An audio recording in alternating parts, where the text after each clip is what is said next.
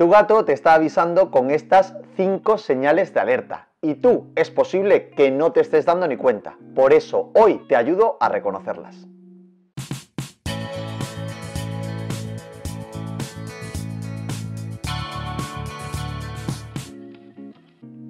Hola, soy Carlos y soy veterinario. Bienvenidas y bienvenidos al canal Mascotas y Familias Felices sabes que me encanta ayudarte a que comprendas mejor a tu gato. Pero hay veces que nuestros compañeros felinos nos mandan mensajes que son muy sutiles y solamente los podemos reconocer si tenemos algo de experiencia. Por eso, hoy he recopilado las 5 señales que nuestros compañeros felinos nos mandan de manera más frecuente cuando algo va mal, para que tú también las conozcas y actúes de manera más rápida.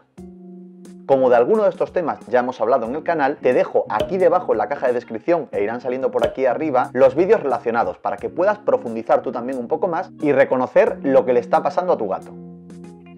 Número 1. Legañas o lagañas en los ojos de nuestros gatos. Las legañas que nos interesan, o las que nos indican que algo no va bien, son esas que son rojizas o también verdosas y que además tienen un aspecto un poco viscoso.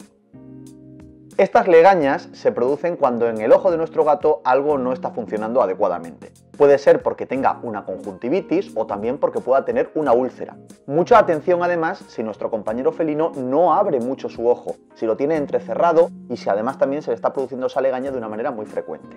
Como siempre te digo, el ojo es un órgano muy delicado y si tu gato tiene este tipo de legañas, tienes que llevarlo cuanto antes al veterinario. Número 2. Babeo excesivo.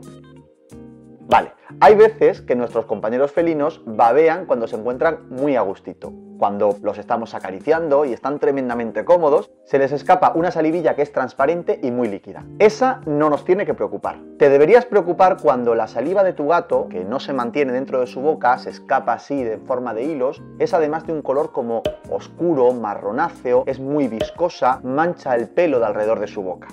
Eso nos puede indicar que el gato tiene algún problema, por ejemplo, en sus encías, como puede ser la enfermedad del calicivirus. Presta especial atención si además de tener este babeo excesivo, tu gato está como adormilado o incoordinado o no se quiere mover, porque muchas veces eso nos está indicando que se ha intoxicado con algo.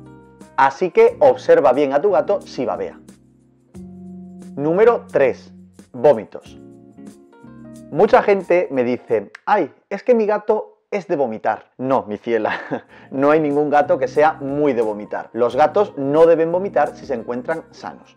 A ver, vamos a hacer una pequeña separación. Es probable que tu gato, si un día come mucho, pues, pues después del atracón vomite. Bueno, ese vómito así, aislado, pues no significa nada. Es posible que tenga un poco el estómago irritado, un poquito de gastroenteritis y ya está. No tendría que ir a más. Pero el problema está cuando tenemos compañeros felinos que vomitan de una manera frecuente.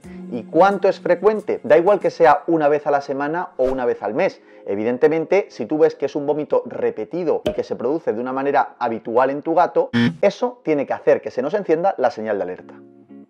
Si de repente tu gato empieza a vomitar y en un día vomita 3, 4 o 5 veces, puede querer decir que tiene gastroenteritis y que esta es bastante seria. Pero nuevamente, y como en el caso anterior, si ves que tu gato está descoordinado o también como adormilado, puede indicar este vómito que se ha intoxicado con algo.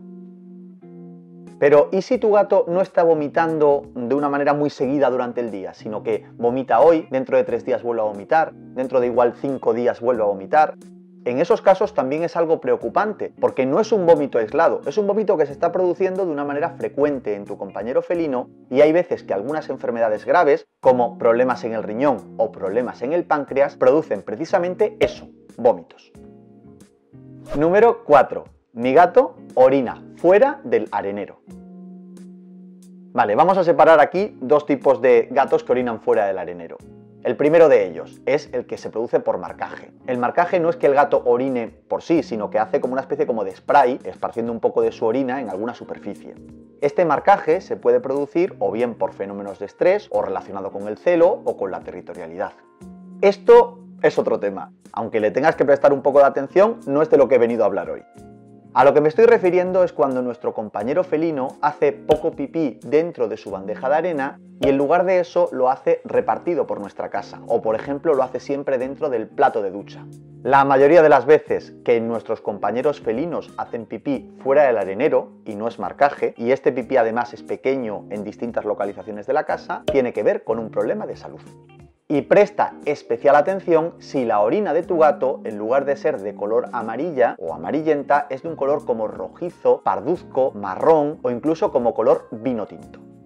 Esto significa que en la vejiga de nuestro compañero felino se está produciendo sangrado. Tiene una hemorragia que sale por su orina.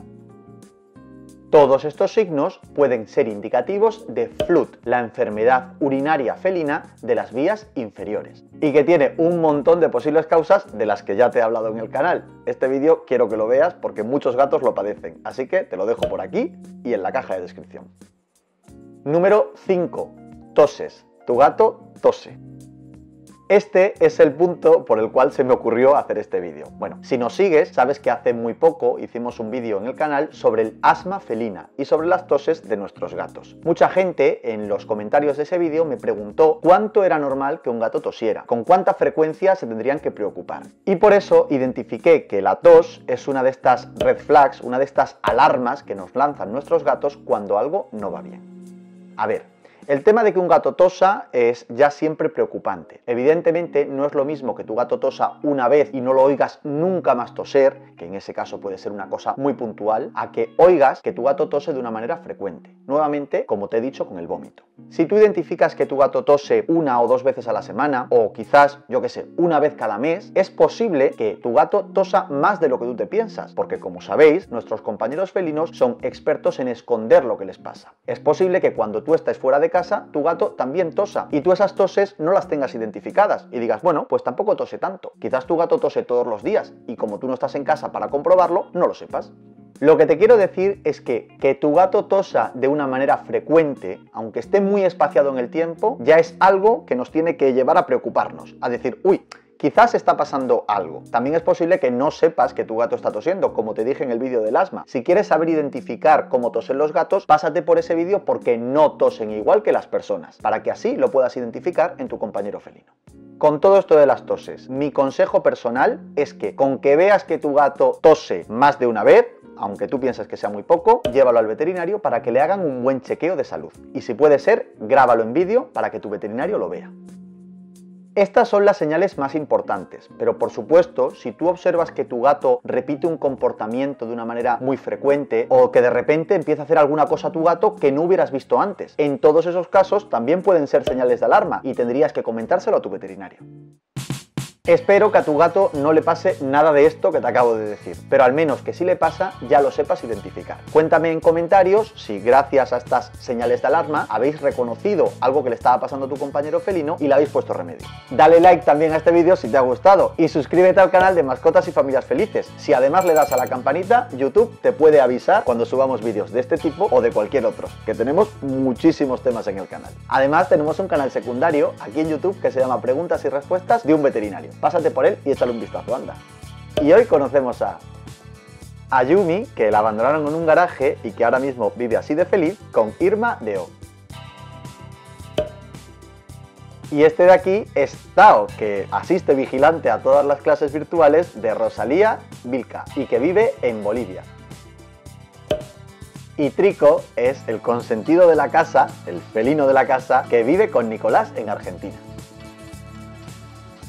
Muchas gracias por seguir el canal Mascotas y Familias Felices y nos vemos en el próximo vídeo. Por cierto, feliz año nuevo. Qué vídeo más bonito para acabar el año, hijo. bueno, yo qué sé. Y hoy te ayudo. ¿Y hoy qué? Por eso hoy he reconocido muy... Se les escapa una salivilla que es muy... No, eh, muy líquida, vale. Que seguramente no te... Eh, eh, porque no quiero decir alertas, que ya he dicho antes, ¿no? Eso ya sí nos tiene que indicar, eso ya sí nos tiene que hacer encendernos la... Em, mi gato orina fuera del arenero. Bueno, también lo pueden hacer fuera del arenero porque no está bien puesto en su sitio en el arenero y tal y cual. Pero sobre todo si son pequeñas cantidades y que tiene un montón de posibles causas de las que ya te he hablado, claro. sobre el asma felino y sobre las toses, asma felina. Y ahora te van a mandar 800.000 vídeos de gatos tosiendo. Bueno, por suerte, por los comentarios de YouTube no puedes mandar vídeos. Una vez al mes... No. Pues ya está. mi consejo personal es que... Muchas gracias. Uy, no, todavía no. Y suscríbete al canal para recibir... No, yo creo que es muy útil. Aunque igual la gente no lo vea mucho.